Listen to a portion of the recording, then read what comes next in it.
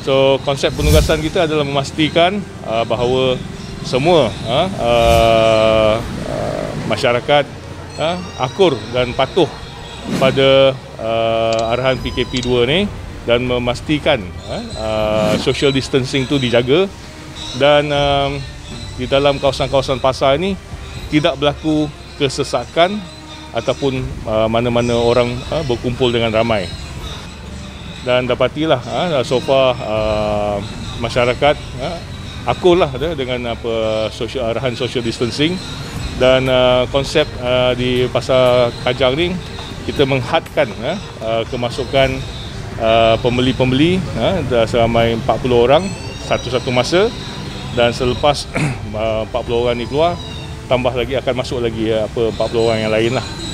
so di luar ni pun kita nampak uh, uh, pihak uh, majlis dan juga pihak uh, pengurusan pasar